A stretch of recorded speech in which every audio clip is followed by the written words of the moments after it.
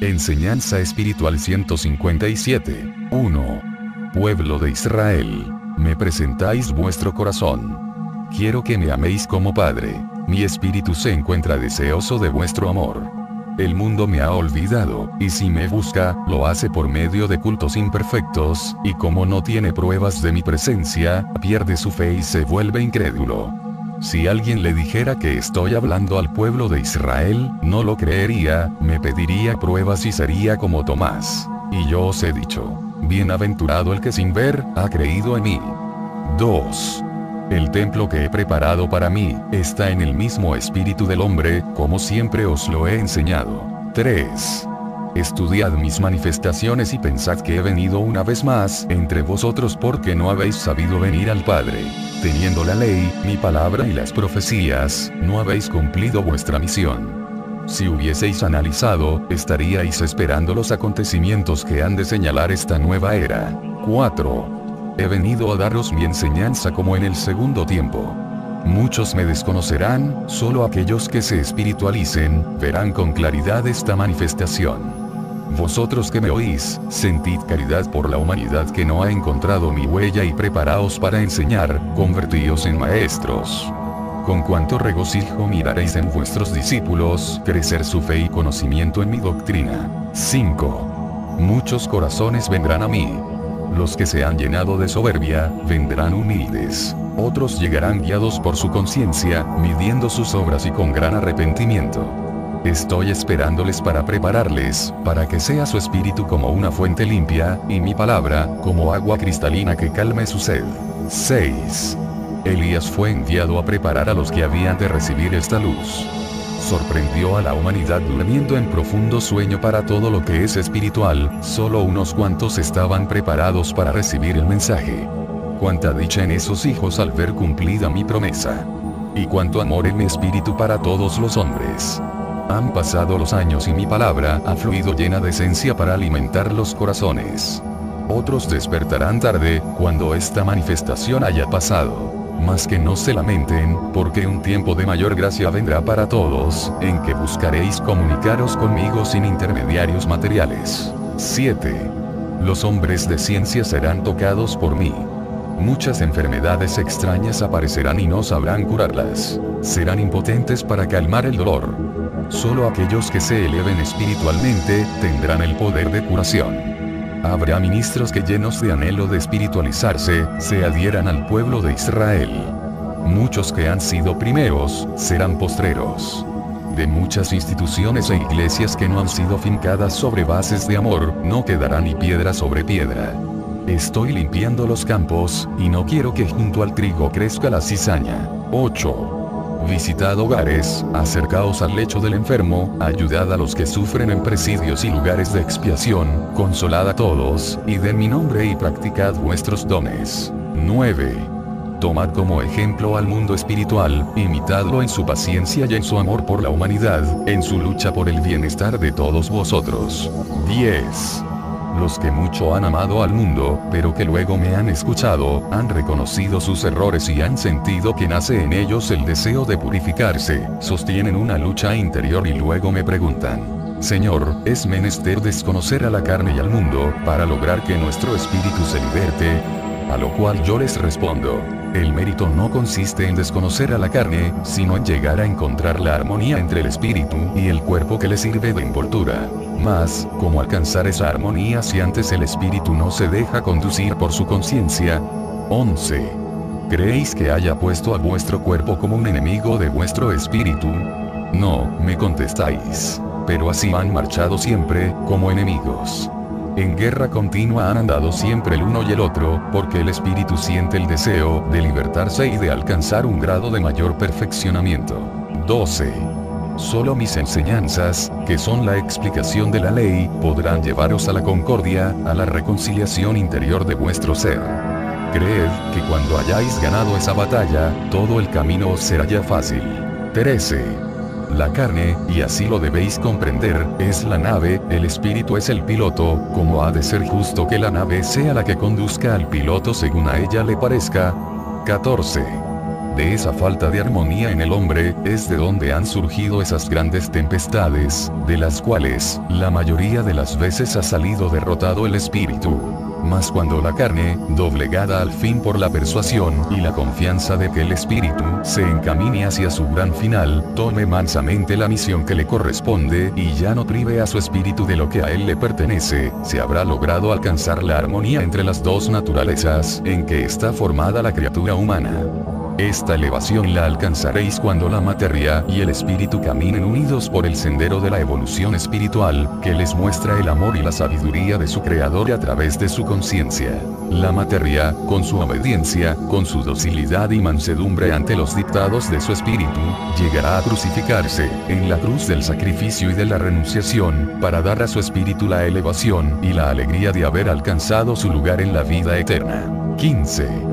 El libre albedrío es la expresión más alta, es el don más completo de la libertad que le fue concedida al hombre en el camino de la vida, a fin de que su perseverancia en el bien, lograda por el consejo de la conciencia y por la lucha en el cumplimiento de las pruebas, le hiciese alcanzar el seno del Padre. Mas el libre albedrío ha sido sustituido por el libertinaje, es desoída la conciencia y solo se atiende a los dictados del mundo, y la espiritualidad ha sido sustituida por el materialismo. 16. Ante tanta confusión y tanto desvío, mi doctrina les parecerá absurda a los hombres de este tiempo, mas os digo, que es la enseñanza justa para lograr que los hombres se libren del letargo en que se encuentran. 17. Caminantes. Dejad vuestro callado y vuestra alforja, y descansad de vuestro largo viaje, sentaos en torno mío, comed de mi pan y conversad con vuestro maestro. Dejad que vuestro espíritu venga a mí en una comunión perfecta. 18. Sois el mismo pueblo que en otros tiempos me seguisteis en busca de perfeccionamiento para vuestro espíritu y ahora me preguntáis sorprendidos, ¿por qué habéis vuelto entre nosotros? Y os contesto, escrito está que el espíritu de mis hijos ha de vivir a la diestra de su Señor por toda la eternidad, y para que vosotros podáis llegar a mí, es menester que aprendáis y hagáis méritos imitando a vuestro Maestro. 19. He sembrado mi simiente en vosotros a través de los tiempos, y cuán pocos son los que me han amado. He manifestado mi poder por medio de enviados, elegidos entre un gran número de espíritus, desde el justo Abel que fuera ejemplo de humildad. José, hijo de Jacob, en quien fuera derramada la sabiduría y la santidad. Juan el Bautista, quien solo vivió para dar testimonio de mí, sin haber tomado del mundo nada que dañara su cuerpo o su espíritu y como estos, que fueron limpios de espíritu, tantos otros que vosotros conocéis y cuya obra crece y se agiganta con el correr de los años. Mas no os han bastado tantas pruebas y tantas voces que habéis dejado perderse en el infinito, porque no habéis querido ver en mis enviados un reflejo de mi divinidad.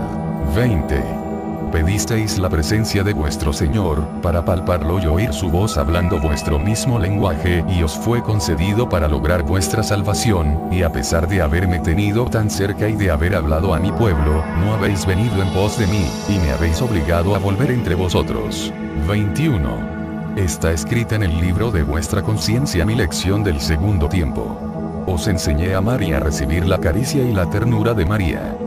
Me recreé sintiendo llamando el calor del regazo materno, saboreando también el sustento que su seno me ofrecía.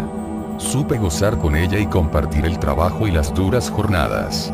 Recibí la caricia de los rayos del astro rey y goce contemplando los montes, los campos, el mar y sobre todos derramé mis bendiciones. Preparé las mieses, las aguas y todo aquello que da el alimento a los hombres. 22. Supe estrechar la mano del amigo, me recreé con la inocencia de los niños, con la gallardía y la nobleza de los mancebos, y con la pureza del corazón de las doncellas. Me llené de satisfacción al contemplar la abnegación y el sacrificio de las madres y la fortaleza de los hombres. Durante 33 años viví en el mundo, para que el hombre palpara la perfección y los ejemplos de su Señor, al cual podían contemplar de cerca, y para que aprendiesen a imitarme en todo momento os enseñé el amor a Dios, así como el cumplimiento de sus leyes. Os dije cómo debíais amar a vuestros padres, a vuestros hermanos y a vuestros hijos. Os hablé del amor entre esposos. Os mostré el camino limpio del trabajo, del respeto y de la caridad de los unos a los otros. Os invité a vivir en perfecta comunión con el Padre y en armonía también con la naturaleza. 23. Sin embargo, muchos fueron los llamados y pocos los escogidos. Fueron doce en quienes derramé el caudal de mi sabiduría. A ellos les hice responsables del Segundo Testamento, de mis lecciones dadas casi todas en sentido figurado, de mis parábolas que fueron incontables, y todo eso quedó grabado en la conciencia de los hombres, para que ni el tiempo ni las vicisitudes llegasen a borrarlo.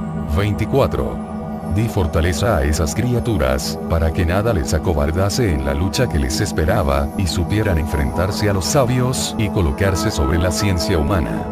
Dije a mis discípulos, os dejo como pastores de la humanidad, de ese rebaño hoy disperso que tendrá que ser reunido en un solo aprisco. También les dije, edificad el templo y al hablarles así, no me refería a templos construidos de cantera, les hablaba del espíritu, en donde corresponde construir la morada para vuestro Señor.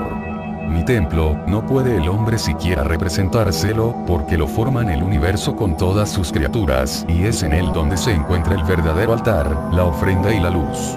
25. El corazón de mis discípulos se encontraba preparado, el vaso estaba limpio dentro y fuera, y lleno de dulzura, fe y esperanza. Así se levantaron a comunicar a la humanidad la buena nueva. Y al hablar después de mi partida, decían a sus hermanos, todos podéis recibir al Señor, en su palabra está contenida la sangre y el cuerpo del Maestro. 26. Así hablaban y yo les conducía paso a paso. Supieron enseñar y comprobar con hechos todas sus palabras.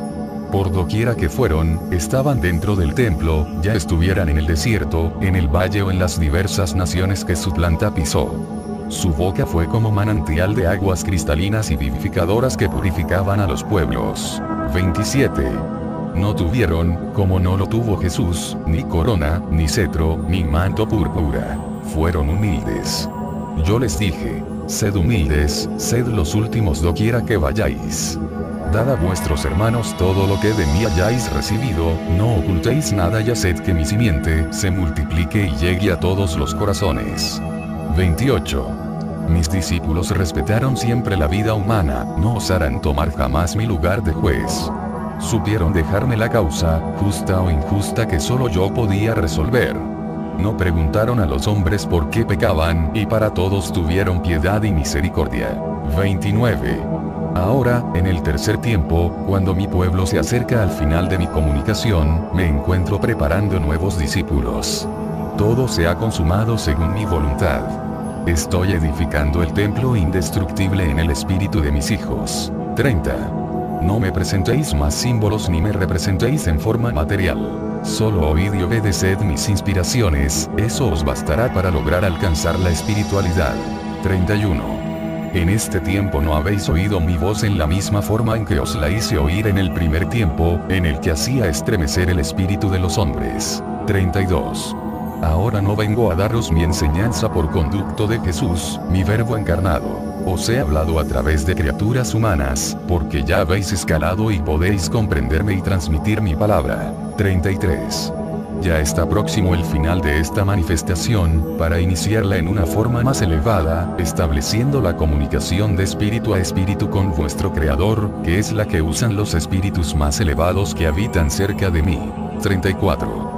No temáis al día de mi partida, porque jamás estaré ausente de vosotros. En el segundo tiempo, después de mi ascensión, me presenté a mis discípulos, limitado en la forma de Jesús, para darles el consuelo. Hoy, ignoráis cuántos días no me sentiréis, mas al cabo de ellos, volveréis a mirarme y a sentir que os inspiro, y que afluyen a vuestra mente nuevas palabras. Solo os pido unificación, un solo cuerpo y una sola voluntad, para que así seáis dignos de llegar hasta el final.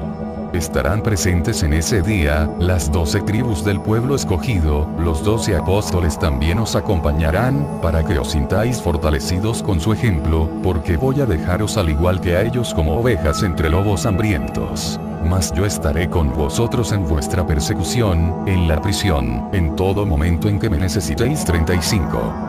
Yo protegeré mi semilla. 36. Trabajad todavía mucho, para que cuando contemple que entre mi pueblo reina el amor, la limpidez y la sencillez, os deje como maestros de la humanidad. Si os piden enseñanza, entregadla. Si os hacen callar, callad humildemente.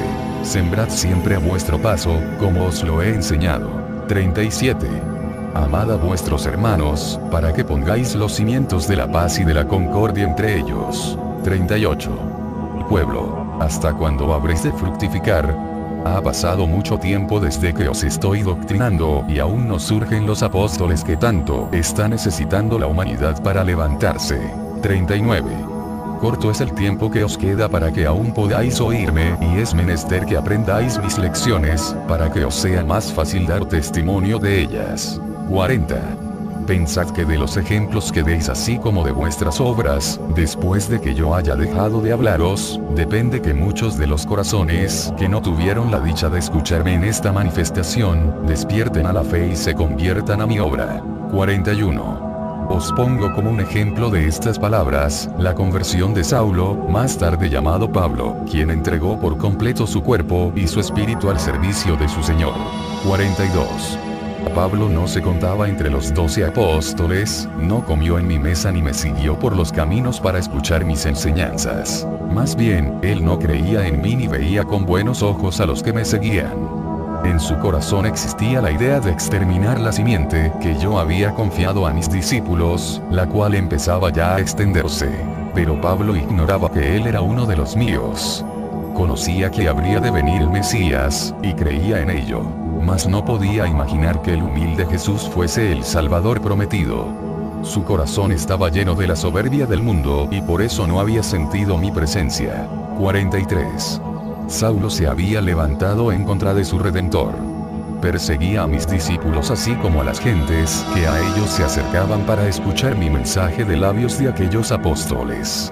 Y así le sorprendí, dedicado a perseguir a los míos, le toqué lo más sensible de su corazón y al instante me reconoció, porque su espíritu me esperaba, por ello oyó mi voz. 44. Fue mi voluntad que aquel hombre público se convirtiese de esa manera, para que el mundo fuese presenciando a cada paso esas obras sorprendentes que le sirviesen de estímulo a su fe y a su comprensión.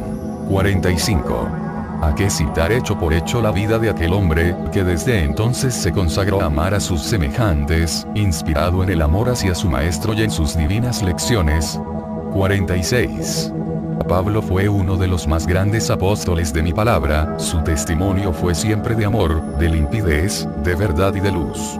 Su anterior materialismo se transformó en una espiritualidad muy elevada, su dureza se convirtió en infinita ternura, y así se cambió el perseguidor de mis apóstoles en el más diligente sembrador de mi palabra, en el incansable caminante que llevará a distintas naciones, a comarcas y aldeas, el divino mensaje de su Señor, por quien vivió y a quien le ofrendó su vida. 47. Aquí tenéis, pueblo amado, un bello ejemplo de conversión y una demostración de que, aun no habiéndome escuchado, pueden llegar los hombres a ser mis grandes apóstoles. 48. Hoy os digo, ¿en dónde está mi pueblo? ¿Dónde está aquel que era prudente en las pruebas, fuerte en las batallas y perseverante en las luchas? Está diseminado por el mundo mas yo le levantaré con mi voz y lo reuniré espiritualmente, para que vaya al frente de todos los pueblos. Pero os digo, que ahora estará formado por hombres de todas las razas, los cuales llegarán a entender cuál es la alianza que estoy esperando de todos los hombres. 49. Este pueblo será fuerte y combativo, mas no tendrá armas homicidas, ni carros de guerra, ni entonará cantos de exterminio. Su bandera será la paz, su espada la verdad y su escudo el amor. 50. Nadie podrá descubrir dónde está ese pueblo y él estará en todas partes, sus enemigos tratarán de destruirlo, pero no podrán, porque nunca lo encontrarán reunido materialmente, porque su unión, su orden y su armonía, serán espirituales. 51. Si en aquel tiempo un Moisés lo libertó y por caminos áridos y solitarios lo condujo, atravesando en medio de enemigos que lo cercaban y lo hizo cruzar entre ellos, hasta ponerlo a las puertas de la tierra prometida. Ahora un Elías invisible pero manifiesto y presente, llamará a la lucha al pueblo y le mostrará sendas de luz para llevarlo con paso firme y certero hasta los umbrales de la morada que tengo reservada a vuestro espíritu. 52. La ley espiritual que le sirva de norma y de guía, será la misma que escribí en la piedra y que os fue revelada en el monte Sinaí. El pan espiritual que le sustente, será el que está contenido en la palabra que por conducto de Jesús se os dio. la luz que le dé esperanza y fortaleza para no desviarse nunca más del sendero de la verdad, será la inspiración que en este tiempo está descendiendo desde el infinito, para revelar a los espíritus todo lo que era para ellos desconocido. 53 todo el que manifieste adelantó en los dones que le he concedido, así como en sus facultades espirituales, que sea además un buscador infatigable de la verdad o que ame la espiritualidad, de cierto os digo, que ese será uno de los soldados de este pueblo y sabrá escuchar la voz de su Señor cuando llame a la lucha, así como cuando lo invite a la paz. 54. ¿Os parece este miraje tan solo un bello sueño?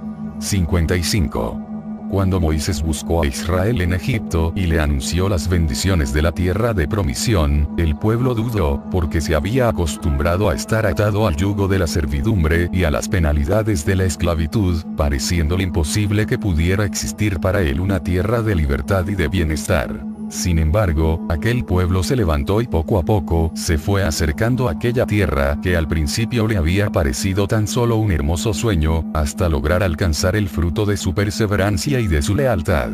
56. Quiero que toméis de mi palabra su esencia, que es el alimento de todo espíritu. En ella encontraréis el pan de la vida, el vino de la alegría espiritual, el fruto del verdadero amor. 57. Es menester que mientras coméis conmigo en la mesa de amor y espiritualidad, aprendáis a hablarme y aprendáis a oírme, porque esta manifestación que ahora presenciáis, es pasajera y es indispensable que aprendáis a comunicaros espiritualmente conmigo para que al dejar de oír mi voz bajo esta forma, no vayáis a sentiros abandonados, solitarios o huérfanos. 58. Recreaos en este tiempo que tenéis mi comunicación pero nunca partéis de vuestra mente el día que está señalado por mi voluntad, para que recibáis por última vez mi palabra. 60. Os digo esto, porque quienes se familiaricen demasiado con mi comunicación, será para ellos la muerte el día que ya no puedan escucharme y entonces estarán expuestos a buscar por medios ya ilícitos, una manifestación que en algo llene el vacío de su corazón, mas no estará allí mi luz. 61. Es necesario que desde ahora comprendáis que de no tener un término esta comunicación, nunca podríais dar un paso hacia adelante, porque no tendríais interés en estudiar mi palabra ni en procurar la comunicación espiritual. ¿Para qué hacerlo si día tras día podríais escuchar esta palabra y recibir este consuelo cada vez que lo pidierais? Pero cuando la lección haya concluido y el mensaje haya sido entregado, todo cambiará y entonces, si queréis sentirme cerca, tendréis que meditar en todo aquello que vuestra memoria guardaréis si queréis sentiros fuertes, tendréis que entregaros a un verdadero cumplimiento espiritual, en el que os convirtáis en sembradores de paz, de luz, de bálsamo y caridad. 62 por vuestro bien, debe ser breve el tiempo que me escuchéis a través del entendimiento humano, porque sois tan pequeños y tan frágiles, que no bien ha pasado un poco de tiempo de estarme oyendo, cuando ya comenzáis a familiarizaros con mi presencia en esta forma dejáis de sentir aquella emoción que os embargaba los primeros días, y cada vez vais experimentando menos aquella alegría, aquel gozo de venir a escucharme, gozo que os quitaba muchas noches hasta el sueño, pensando en que ibais a escucharme, ansiando que llegara el día y el momento de volver a oír aquella voz que por momentos os parecía imposible que pudieseis escuchar. 63. ¿Será verdad? Preguntabais en vuestro corazón, que pueda yo escuchar la voz de mi Señor, seré digno de presenciar la manifestación de mi Creador, a través de esa maravillosa palabra. Oh, Maestro, qué gozo tan grande el que has dado a nuestro espíritu haciéndonos oír tu voz paternal, tu palabra de Maestro, tu verbo divino. Y no os cansabais de escucharme, y no queríais perder una sola palabra, y no queríais desobedecer uno de mis mandatos. Pero fue pasando el tiempo y os fuisteis acostumbrando a oírme, y como ya no procurabais profundizaros, comenzó a cansaros mi palabra, a la que encontrabais monótona, siempre la misma, siempre igual, sin daros cuenta de que erais vosotros los que no llegabais preparados como en los primeros días, cuando os acercabais llenos de unción, de respeto, de asombro, de fe, de amor y humildad. 64 puedo deciros que no ha habido un solo corazón que habiéndome escuchado por algún tiempo, no se haya familiarizado con mi palabra y mis manifestaciones. Por lo que os digo una vez más, que, debido a vuestra pequeñez y fragilidad humana, no podéis permanecer por mucho tiempo en la espiritualidad, y es mejor que por vuestro bien yo limite el tiempo de mi comunicación, porque de no hacerlo así, acabaríais todos por no sentir respeto por algo que ha sido una gracia que vuestro maestro, en cumplimiento a una promesa del segundo tiempo, he venido ahora a entregaros. 65. Mi paz sea con vosotros.